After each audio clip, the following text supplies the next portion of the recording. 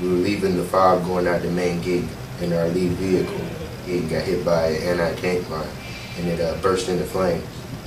I remember the vehicle that was directly behind that person came over the mic and just said they're on fire. Um, platoon sergeant told me, let's, you know, just go, go, go. So I took off, went over there to where they were at. I seen the three uh, soldiers get, you know, on foot. I looked at them, make sure, you know, I didn't see any any blood, no one was bleeding. And uh, that's when I told him, I said, uh, hey, sergeant, you know, uh, none of them had their weapons, I don't think. You know, I don't think none of them had their weapons. And I knew what he was going to say. And I didn't want to hear him say. My platoon sergeant yells at me, get up, do your job. He's hopping down the hatch. I run around to the back. I got the shovel. I'm shoveling dirt.